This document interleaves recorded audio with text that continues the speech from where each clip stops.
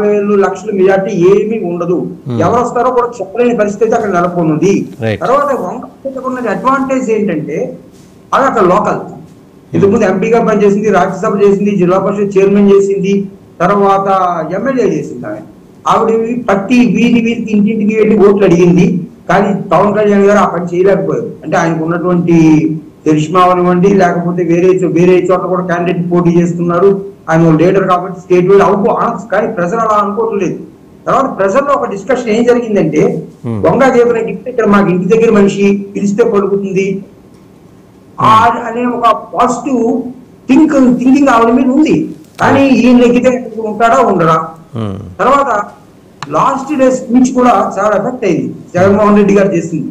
ఆ స్పీచ్ కానీ ఈవిడ ఇమోషనల్ మాటలు కానీ ఆవిడ ఆయనకేమో ఆవిడకి డిప్యూటీ సీఎం ఇస్తారనడం అనేది ఇంతకుముందు చంద్రబాబు నాయుడు గారు కాపు ఉద్యమం జరుగుతున్నప్పుడు మన చంద్రబాబు చెప్పక నేను ఇలా డిప్యూటీ సీఎం అని చంద్రబాబు పేరు చెప్పలేదు కాపు ఇస్తాను డిప్యూటీ సీఎం అని చెప్పాడు. అదే పద్ధతిలో ఈయన కూడా అది అనౌన్స్ చేయడం వల్ల కొంత పాజిటివ్ వచ్చింది.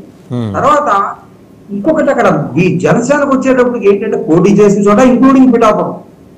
వేరే వాళ్ళ మీద క్యాంపెయిన్ ఆధారపడుతున్నారు తప్ప స్ట్రాంగ్ పార్టీ హోల్డ్ అంటే పోలింగ్ బూత్ నుంచి విలేజ్ లెవెల్ మండల లెవెల్లో క్యాడర్ లేకపోవడం ఒక పెద్ద సమస్య కింద మారింది సార్. పరాధీనం ఎవరి మీద? అటు. తెలుగుదేశం ఉంటే తెలుగుదేశం పార్టీ మీద ఆధారపడాలి లేకపోతే వీళ్ళు ఎవరిని నమ్ముకొని ఆధారపడాలి. పార్టీని గ్రాస్ రూట్లో డెవలప్ చేయకపోవడం అనేది జనసేనకు ఉన్నటువంటి నెగిటివ్ పాయింట్. కేవలం ఇమేజెస్ కూడా పార్టీ క్యాటర్ కూడా పనిచేయాలి కదా మనకి. అది కూడా చేయట్లేదు సార్. ఇది తర్వాత ప్రజల్లో ఈ కూటమి మీద నమ్మకం అనేది కలిగించలేకపోయారు ఇది ఎలక్షన్లో అయితే సార్ ఇప్పుడు అన్ని సభలు పెట్టిన తర్వాత అద్భుతమైన రెస్పాన్స్ వచ్చింది కదా. చంద్రబాబు గారి సభలకి పవన్ కళ్యాణ్ గారి సభలకి తర్వాత మోదీ గారి సభలు. అమిత్ షా సభలు. ఎలా చూసినా అంటే ఒక చిలుగులూరుపేట బొప్పుడి పక్కన పెడితే మిగిలిన అన్ని కూడా గ్రాండ్ సక్సెస్ అయినాయి కదా. సార్ సభలు సక్సెస్ అయితే ఉత్తరప్రదేశ్ ఎగ్జాంపుల్ ఉత్తరప్రదేశ్లో సమాజ్వాదీ పార్టీ మీటింగ్ వచ్చినటువంటి జనం ఇందిరాగాంధీ మీటింగ్ కానీ మోడీ మీటింగ్ కానీ దేశంలో ఎప్పుడు వచ్చి ఉండరు. తొమ్మిది కిలోమీటర్లు ఆరేసి కిలోమీటర్లు జనం ఉండేవారు. కానీ తీరామోసి బ్యాలెట్ ఓపెన్ చేసి ఏం జరిగింది మనకి? అదే టైంలో మోడీ అమిత్ షా రోడ్ షో కూడా క్యాన్సిల్ చేసుకున్న ఉత్తరప్రదేశ్లో మీరు చూడండి టీవీలో కనబడుతుంది. కానీ మరి అక్కడ కేవలం ఇది కాదు ప్రజలు వచ్చిన వాళ్ళ యొక్క రియాక్షన్ ఎలా ఉంది? వాళ్ళ హృదయాలు పట్టుకున్నట్టుగా వీళ్ళు మాట్లాడారా లేదా? వాళ్ళకి ఎంత కాన్ఫిడెన్స్ లెవెల్ క్రియేట్ చేయగలిగారని చూడాలి. ఏ ఎలక్షన్ జరగాలన్నా ఒక అపోజిషన్ పార్టీ అయినా ప్రతిపక్షం అయినా ఒక మొమెంటము ఒక స్ట్రాటజీ ఒక కాన్ఫిడెన్స్ క్రియేట్ చేయగలిగి ఉండాలి. ఇక్కడ కొంతవరకు మూమెంట్ క్రియేట్ చేశారు. బట్ కాన్ఫిడెన్స్ క్రియేట్ చేయడంలో ప్రతిపక్షం విఫలమైంది అని నేను అనుకుంటున్నాను సార్.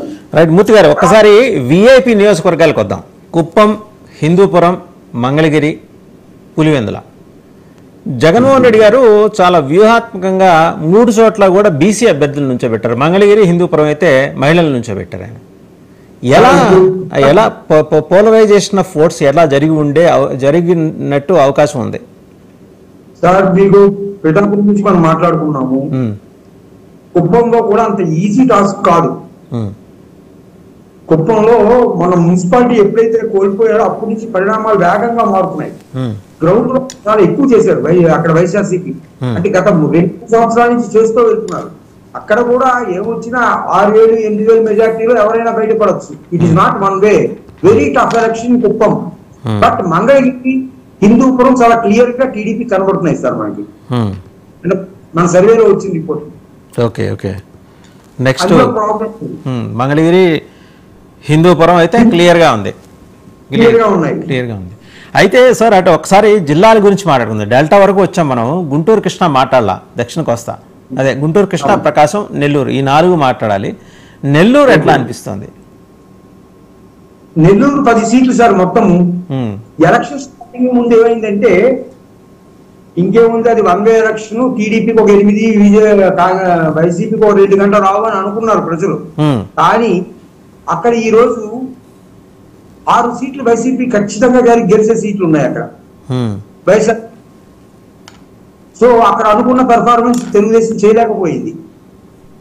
తర్వాత ప్రకాశం డిస్ట్రిక్ట్లో పన్నెండు సీట్లు ఉన్నాయి. పన్నెండు సీట్లలో ఖచ్చితంగా ఫిఫ్టీ ఫిఫ్టీ వస్తాయి సార్. ఆరు ఆరు సీట్లు అయితే ఖచ్చితం. అంటే ఇంకా పెరగచ్చు బట్ మనం లీస్ట్ మాట్లాడదాం ఓకే. అంచేత నెల్లూరు ప్రకాశంలో మెజారిటీ సీట్స్ టోటల్ చూసినప్పుడు వైసీపీ ఖచ్చితంగా ఇరవై రెండు సీట్లకి ఇరవై రెండు సీట్లు ఉన్నాయి నెల్లూరు ప్రకాశం కలిపి మనకి. ఇరవై రెండు సీట్లకి ఒక పన్నెండు నుంచి పదమూడు సీట్లు వైసీపీకి ఛాన్స్ కనబడుతుంది చాలా క్లియర్గా.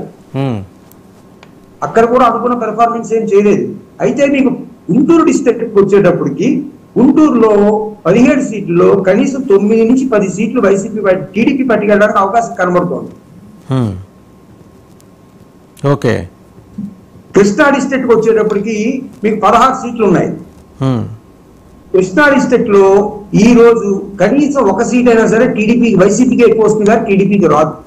ఇది కొంచెం astonishing గా ఉంది సార్. కృష్ణా గుంటూరు కోరు రాజధాని ప్రాంతం రాజధాని ప్రాంతంలో వెల్లువెత్తిన నిరసన అనేది నేననేది సభల రూపంలో మాట్లాడలా అక్కడ ప్రజలు కానీ అక్కడ లోకల్స్ కానీ వాళ్ళు రగిలిపోయి ఉన్నారు. మా రాజధానిని జగన్మోహన్ రెడ్డి గారు పట్టుకెళ్ళిపోతున్నారు. అపహరించుకుని వేరే ప్రాంతాలకు విస్తరించే ప్రయత్నం చేస్తున్నారని ఒక ఇంప్రెషన్ బలంగా ఉంది. నెక్స్ట్ గుంటూరులో క్యాండిడేట్స్ చూస్ చేసుకోవట్లో టీడీపీ చాలా వ్యూహాత్మకంగాను మంచి తెలివితేటలతోనూ వ్యవహరించింది. అంటే identification of candidates. Pemmasani Chandrasekhar garu ఉన్నారు. దాదాపు పదేళ్ళ నుంచి ఆయన ట్రై చేస్తున్నారు ఇంటర్వ్యూ ఇద్దామని. అత్యంత ధనికుడిగా ఆయన అఫీషియల్ అఫిడవిట్లోనే ఆయన మెన్షన్ చేశారు.